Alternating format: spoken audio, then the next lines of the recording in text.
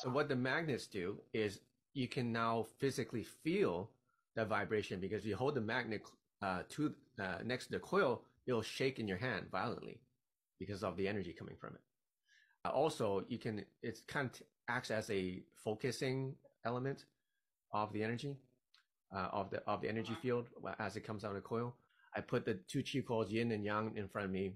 I play my biohacking frequencies, methylene blue, uh, BPC one five seven. So it's I'm sitting in front of it, but I don't have to close my eyes or anything. I don't have to meditate. I'm just sitting there working on my laptop, and I'm getting this uh-huh.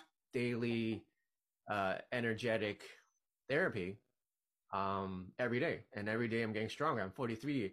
I do boxing, and I'm basically outpacing all these 20 and 30 year olds. Nice. So is that is that similar to the scalar waves? So scalar is a, another kind. I mentioned that there's different types of chi energy, right? So scalar is a different kind um, of energy. So scalar waves uh, is a little bit more complex, but basically when two electromagnetic fields of equal, um, let's say frequency or equal intensity, when they meet in the middle, right? Let's say you have one coil on the left, one coil on the right, and they're facing each other. They're both creating this magnetic field. And when they meet in the middle, it doesn't cancel out, right? Well, it cancels itself out. Like if you have, uh, you know, you know how, um, noise canceling headphones work, right?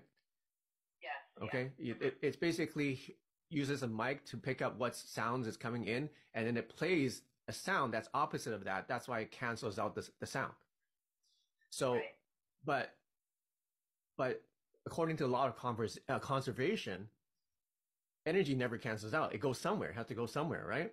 So when you have two electromagnetic fields and they are equal to each other and they face each other, and the point in the middle, they don't cancel out. They create a third, I mean, another type of energy called scalar waves in the uh, 90 degrees from it, perpendicular to the energy field.